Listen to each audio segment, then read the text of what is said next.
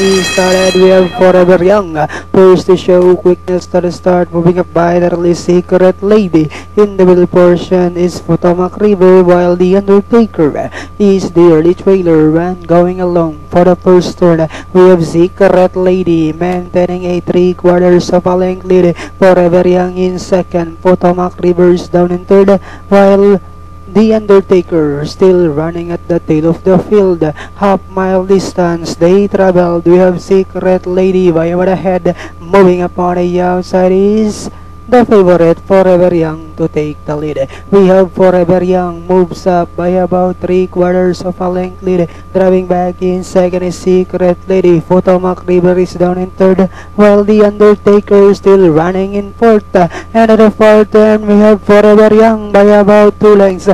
Secret Lady in second. Moving up now is Potomac River while the Undertaker is still running at the tail of the field.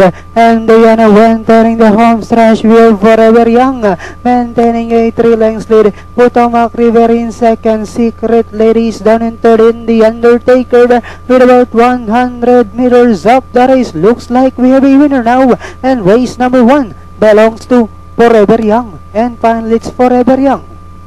Potomac River, Secret Lady. Yun, unang ang tumuwid, si Forever Young, the outstanding favorite in ating race number one. Same stable nung kagabi, nanalong all that jazz, no? Mr. Ricky Castillo, ang owner, trainer si Kuya Fred Abobo. Pati yung rider, si Kelvin, na sinasabi nga natin lately kung sumakay, isa, dalawa, pero nananalo pa since nung Monday. That means ang taas ng batting average nitong si Kelvin for this week. 7, 24 and a half, 25, 27 and a half. Total time ni Forever Young is 1 minute 24 seconds flat.